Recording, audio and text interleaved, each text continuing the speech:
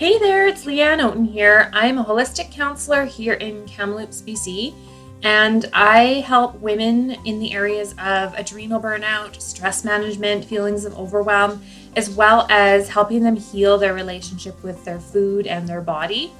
And part of that stems from my personal journey through all of those areas, and also uh, the struggle that I had with um, releasing weight and trying to control and restrict calories and do cleanses and diets and shake programs and point systems and counting calories. And I've done all of the above.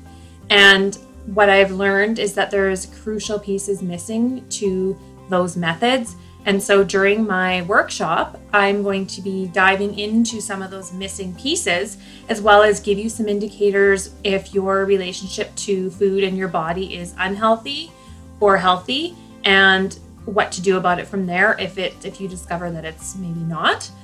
I will also be covering intuitive eating, just an intro to what that is and how that has transformed my entire relationship with food and my body. Um, and then the other piece I'm going to touch on is the physiolo- physiological imbalances that can also contribute to weight gain.